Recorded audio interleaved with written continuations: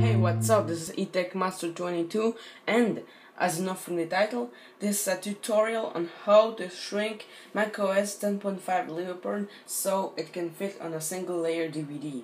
Now, just to recap, about two months ago I created a video about how to create a bootable flash drive. However, if you have earlier versions of G4 Macs, then there's probably USB 1.1 which is slow and it will take forever to install from USB 1.1. All you need is a Mac, Intel or PowerPC that has a DVD drive, internal or external. You will also want to have at least macOS 10.4 Tiger to do this. So, let's do it. So, here I have the original DMG file. So, what I need to do is go to the disk utility and click on new image.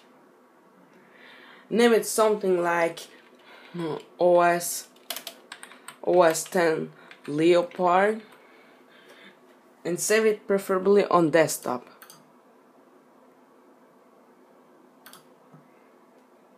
Select the volume size to 8 gigabyte and click create.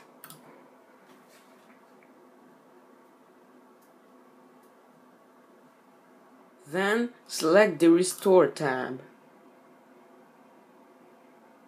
Open the original DMG file and from the disk utility, mm, drag it onto the source section. Drag the new file into the destination section and click restore. Type in your password and wait. This may take a while. Once it finishes, open the new file and see if all the content was copied. So, we must now delete all the useless files. Press Shift Command G.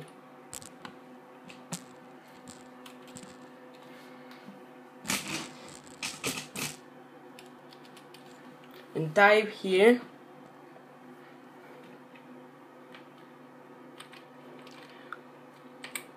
Slash volumes.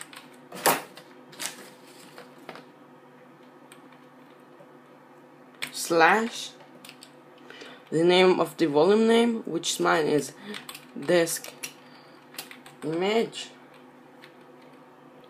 Slash system slash installation slash packages.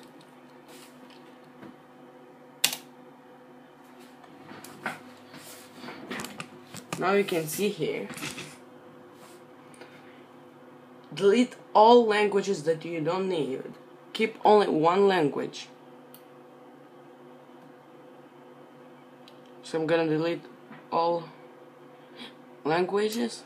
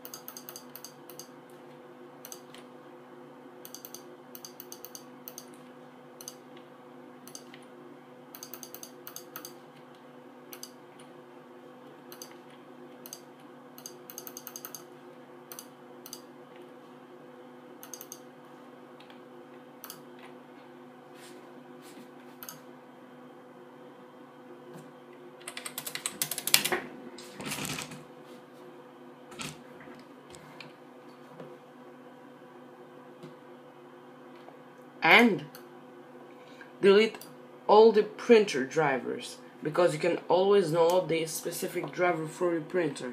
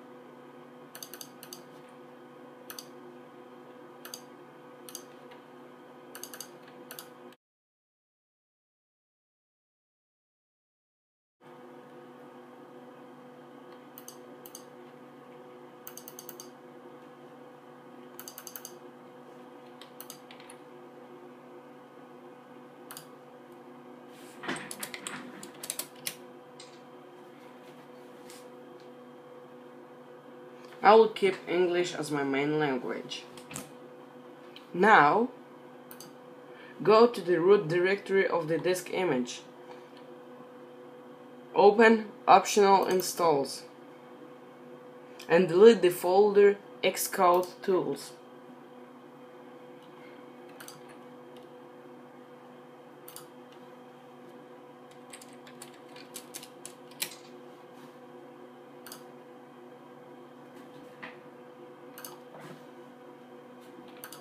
Empty the trash.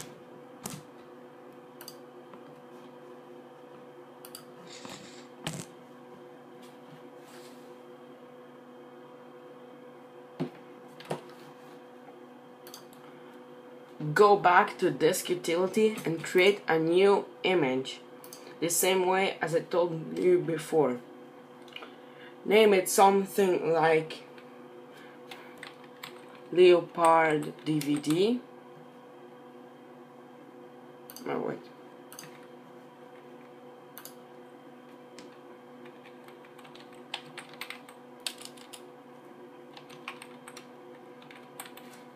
At the end, name the volume name Mac OS 10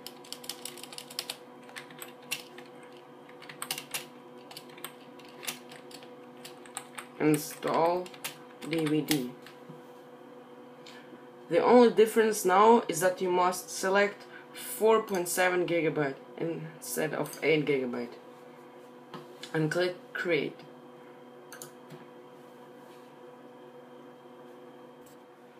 So one file I forgot to delete is the Asian language support. So I'm gonna trash that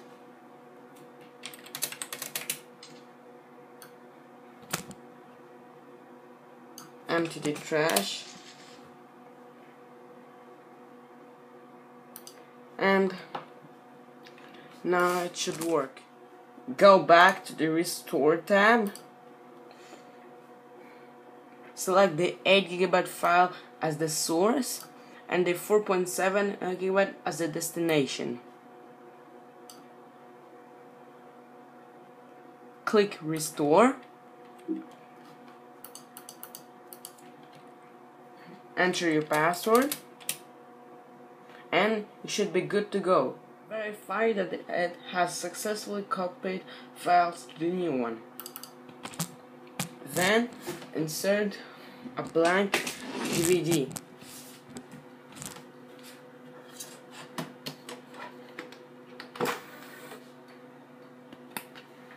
It's a rewritable disk by the way.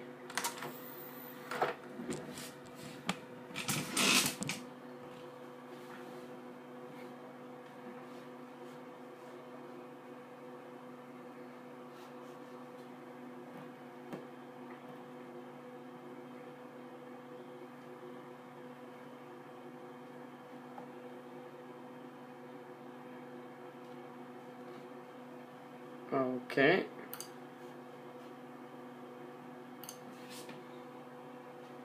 Select the new 4.7 gigabyte image file. Click Burn.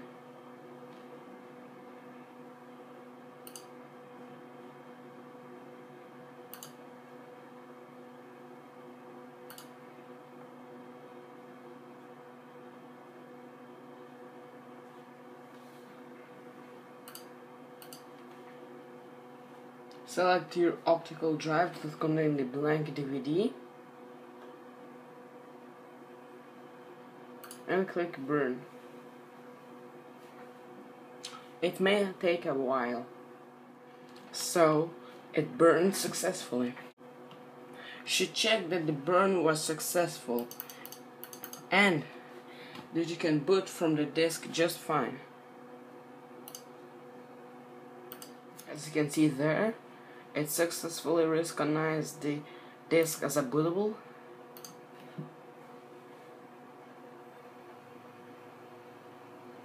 So now I'm just going to show you that it works. So it can't boot from the disk, probably because it's an external disk drive, No, because the internal one doesn't work. But anyway, Now, I would like to tell you, when you will install Leopard from the disk, make sure you select the correct language and customize the installation so you won't install neither printer drivers nor any language translations. You also won't have the possibility to install Xcode tools from the disk. But anyway, if you enjoyed this video, remember to comment, like and subscribe to my channel. Hope this tutorial was useful to you. Thanks for watching.